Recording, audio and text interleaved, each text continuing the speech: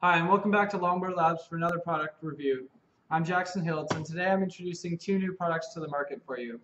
They come from Venom, the same guys that make your awesome bushings, the great cannibals, the great tweakers, and the awesome thug lives. Today they're adding two more freeride wheels to their lineup. We've got the Venom Thug Passions and the Venom Balls.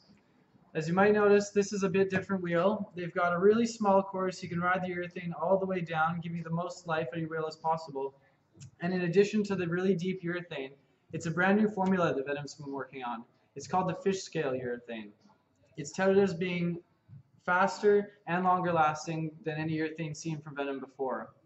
Uh, basically, these wheels are a center set for your ride wheel.